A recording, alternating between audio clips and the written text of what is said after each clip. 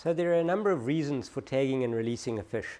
The first and the most obvious reason is to understand the movement patterns of, of that fish. So we know where it is when we tag it and where it is when we recapture it, so we can work out the distance that it's moved. Um, some fish are very resident, don't move a lot, others are highly migratory, so it gives us an idea of the movement behavior of that species. The second reason is to understand their growth rate. So when we tag it, we measure it, when we recapture it, we measure it again, so we can work out at the time that it's been free how much that fish has grown, and we can use that information to validate other methods of aging fish, like using otoliths and so on.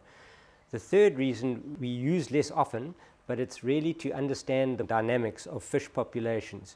We can use the number of fish that have been tagged and recaptured to work out the population size of the stock, and we can also work out mortality rates by using tag recapture. So all that information feeds in to studying the species and, and improving our knowledge of the, the species that we're studying. The reason for getting anglers from the public to help tag and release fish is that there's no ways that a small group of fishery scientists could go out and tag that number of fish over such a wide area in a, in a short time as a group of citizen scientists could.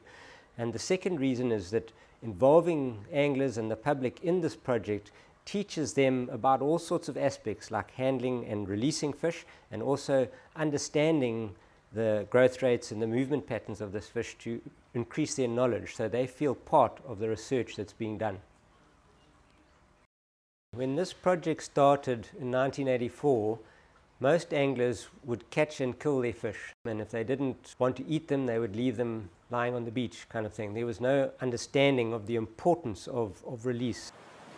We've seen a great shift in particularly the competition angling where the shore anglers, for example, now have adopted catch and release as their program. So they can't catch and kill fish anymore. They, they catch fish, they measure them, and they release them. It's really improving the sustainability of fishing by releasing your fish and not killing them.